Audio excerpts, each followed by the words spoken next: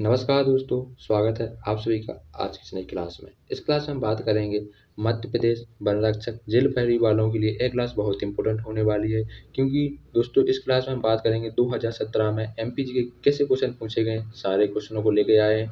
जिन लोगों के बीस में से पंद्रह क्वेश्चन सही निकलेंगे, उन लोगों का कल की क्लास में नाम लिया जाएगा और कम्युनिटी टैब में उनको पोस्ट बनाकर उन सभी का नाम लिखकर डाल दिया जाएगा। क्या आप लोग इसके लिए तैयार हैं? अगर तैयार हैं तो अपने दोस्तों के पास भी क्लास को शेयर करना है और जितने भी आपके रिलेटिव जितने भी आपके सह संबंधी मध्य प्रदेश वन रक्षक जेल पहले की तैयारी कर रहे हैं, उनके पास क्लास को ज़रूर शेयर करना है।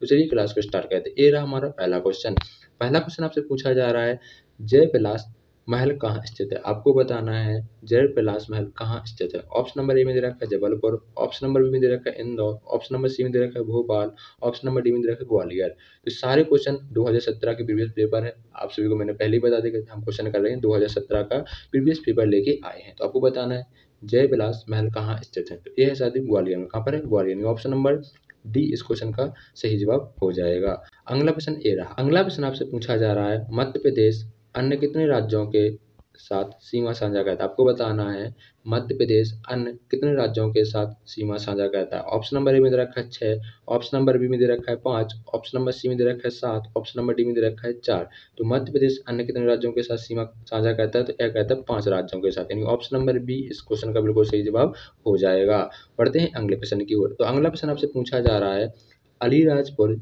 जिला किस वर्ष स्थापित किया गया था। आपको बताना है, अलीराजपुर जिला कब बनाया गया था? ऑप्शन नंबर ए में दे रखा है 2006 ऑप्शन नंबर बी में दे रखा है 2007 ऑप्शन नंबर सी में दे रखा है 2008 ऑप्शन नंबर डी में दे रखा है 2005 तो आपको बताना है, अलीराजपुर जिला है, किस वर्ष स्थापित किया गया था? यह किया गया था 2008 में। कब किया गया था 2008 यानी ऑप्शन नंबर सी इस क्वेश्चन का बिल्कुल सही जवाब हो जाएगा। अगला प्रश्न आपसे पूछा जा रहा है, नर्मदा सेवा यात्रा के तहत कितने जिलों में पेड़ लगाए जाएँगे?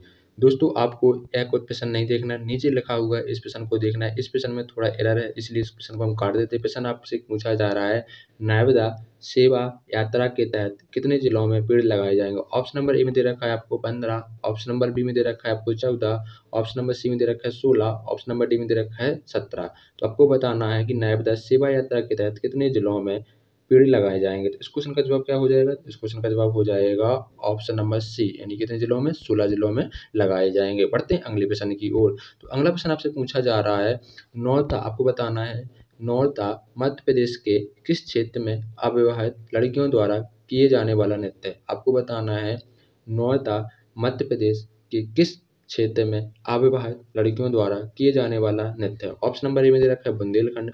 ऑप्शन नंबर बी में दे रखा है चित्रकूट, ऑप्शन नंबर सी में दे रखा है बघेलखंड, ऑप्शन नंबर डी में दे रखा है मालवा। तो इस क्वेश्चन का जवाब क्या हो जाएगा? इस क्वेश्चन का जवाब हो जाएगा बुंदेलखंड में किया जाता है, यानी ऑप्शन नंबर ए इस क्वेश्चन का बिल्कुल सही जवाब हो जाएगा। बढ़ते हैं अगले प्रश्न की ओर। अगला प्रश्न आपसे पूछा जा रहा है, मध्य प्रदेश के, आपको बताना है, मध्य प्रदेश के निम्नलिखित क्षेत्रों में से किस क्षेत्र में दुनिया का सबसे पुराना शैवाल जीवाश्म हाल ही में खोजा गया है। ये क्वेश्चन आपसे पूछा जाए। क्वेश्चन कह रहा है, मध्य प्रदेश के निम्नलिखित क्षेत्रों में से किस क्षेत्र में दुनिया का सबसे पुराना शैवाल जीवाश्म हाल ही में खोजा गया? ऑप्शन नंबर एक दे रखा है, बुंदेलखंड। ऑप्शन नंबर बी में दे रखा है चित्रकूट, ऑप्शन नंबर सी में दे रखा है सतपुड़ा, ऑप्शन नंबर डी में दे रखा है मालवा। तो इस क्वेश्चन का जवाब क्या हो जाएगा? इस क्वेश्चन का जवाब हो जाएगा सतपुड़ा। कहाँ हो जाएगा? सतपुड़ा, यानी ऑप्शन नंबर सी बिल्कुल सही जवाब हो जाएगा। अगर आपको क्लास पसंद आ रही है तो क्लास को लाइक करना है और चैनल को सब्सक्राइब करना है और क्लास को अपने दोस्तों के पास ज़रूर शेयर करना है। अगला प्रश्न आपसे पूछा जा रहा है, लाला हरदौल की कहानी मध्य प्रदेश के किस स्थान में प्रसिद्ध है? ये क्वेश्चन आपसे पूछा जा रहा है। क्वेश्चन पूछा जा रहा है, लाला हरदौल की कहानी मध्य प्रदेश के किस स्थान में प्रसिद्ध है? ऑप्शन नंबर ए में दे रखा है खजुराहो ऑप्शन नंबर बी में दे रखा है ओरछा ऑप्शन नंबर सी में दे रखा है उज्जैन ऑप्शन नंबर डी में दे रखा है महेश्वर। क्या हो जाएगा? तो कहाँ पर है हरदौल राजा, लाला हरदौल की कहानी कहाँ पर प्रसिद्ध है? तो यह है ओरछा में। कहाँ पर है? ओरछा में प्रसिद्ध है। ऑप्शन नंबर बी इस क्वेश्चन का जवाब बिल्कुल सही जवाब हो जाएगा।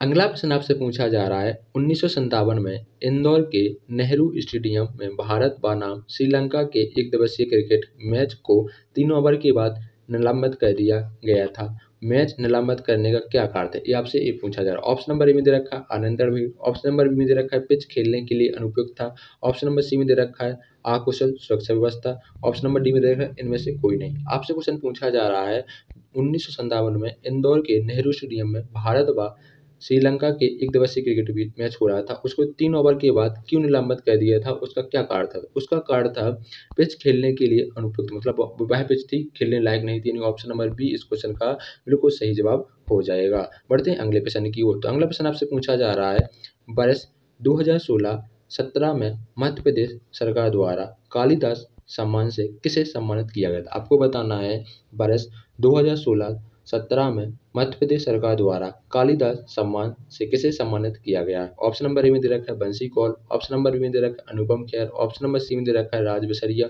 option number D में दे रखा है मल्लिकार्जुन मसूद। इस क्वेश्चन का जवाब क्या हो जाएगा? इस क्वेश्चन का जवाब हो जाएगा ऑप्शन नंबर बंसी कौल को सम्मानित किया गया था। बट अगला प्रश्न आपसे पूछा जा रहा है, निम्नलिखित में से कौन सा राजवंश इंदौर पर इंदौर पर शासन करता था? आपको एक क्वेश्चन पूछा जाए। आपको बताना, निम्नलिखित में से कौन सा राजवंश इंदौर पर शासन करता है? ऑप्शन नंबर ए में दे रखा है, होलकर।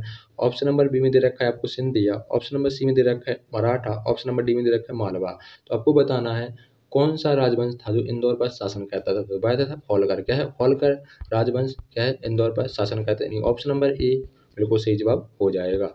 दोस्तों, आज के लिए हम लोग इतना ही रखते हैं। आप लोगों को कमेंट में बताना है कि आपके दस क्वेश्चनों में से कितने सही निकले हैं। जिन लोगों के दस में से आठ क्वेश्चन सही निकले होंगे, उन लोगों का कल की क्लास में नाम लिया जाएगा। मैं आशा करता हूँ आप लोगों को एक क्लास पसंद आई होगी। अगर क्लास पसंद आई है तो क्लास को लाइक करना है और अपने दोस्तों और अपने सह संबंधियों के पास क्लास को ज़रूर शेयर करना। कमेंट बॉक्स में बताना है क्लास कैसी लगी मिलते हैं हम लोग नई क्लास के साथ। Thanks for watching.